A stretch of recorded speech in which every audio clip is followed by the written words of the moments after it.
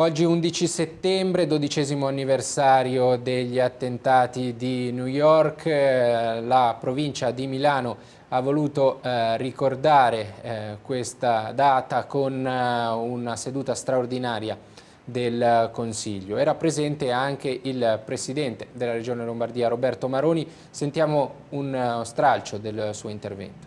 Ho accolto questo invito con grande piacere ho deciso di partecipare personalmente proprio per rinnovare ancora una volta e pubblicamente un sentimento forte, sincero di amicizia che mi lega agli Stati Uniti e al popolo americano. Il titolo scelto ci chiede di volgere lo sguardo al futuro, senza dimenticare il passato quello che l'11 settembre 9-11 ha rappresentato per gli Stati Uniti, per l'Europa e per il mondo intero, per quella che definiamo civiltà nel suo complesso.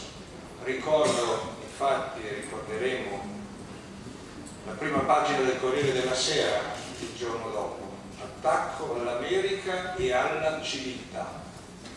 A essere colpiti siamo stati tutti noi, senza distinzione, americani, europei, arabi, israeliani, africani, orientali, tutti coloro che intendono la vita come un luogo, un territorio di incontro, di scambio reciproco, di continuo miglioramento di noi stessi, anche e soprattutto grazie all'apporto degli altri, seppur diversi da noi. È quindi doveroso esprimere, anche a distanza di 12 anni, la vicinanza, e lo faccio per la Regione Lombardia, a un grande paese libero e democratico e al popolo americano per quell'attacco barbaro e incivile scagliato dai terroristi di Al-Qaeda sul loro stesso territorio.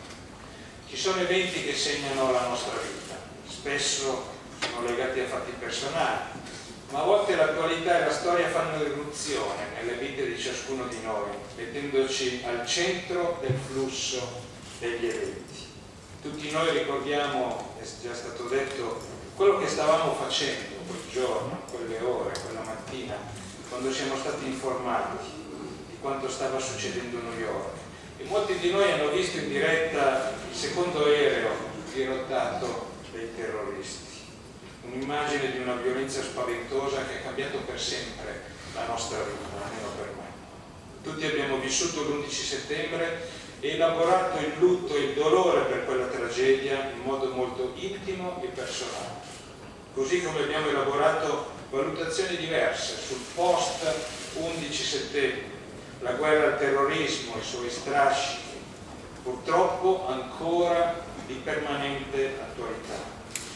Ho ricoperto l'incarico di Ministro dell'Interno in anni in cui la minaccia del terrorismo di matrice islamica post 11 settembre era ancora alta e con i colleghi europei mi sono trovato spesso a dover valutare situazioni e assumere decisioni per fronteggiare al meglio questa minaccia.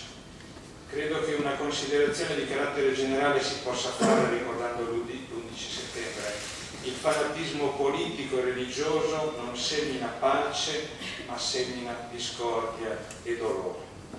Non dobbiamo mai abbassare la guardia per difendere quello che è il bene più prezioso che abbiamo, da cui discende il nostro stile di vita, il benessere che abbiamo a fatica conquistato insieme dal secondo dopoguerra in poi, soprattutto grazie alla cooperazione tra gli Stati Uniti e l'Europa e cioè la libertà. La memoria dell'11 settembre deve rimanere viva anche per questo, per unire il mondo nella battaglia per la libertà contro ogni estremismo. Trovo significativo, in conclusione, che il memoriale dell'11 settembre a New York sia composto da due enormi piscine realizzate sul terreno dove una volta sorgevano le torri gemelle. L'acqua è un simbolo di vita per eccellenza, un flusso che non arresta mai il suo corso. Mi piace pensare all'amicizia tra noi e il popolo americano proprio come un corso d'acqua, qualcosa di semplice ma grandioso nella sua semplicità, che non si fermerà mai perché costituisce l'essenza stessa di quella libertà senza la quale non può esserci la vita. Grazie.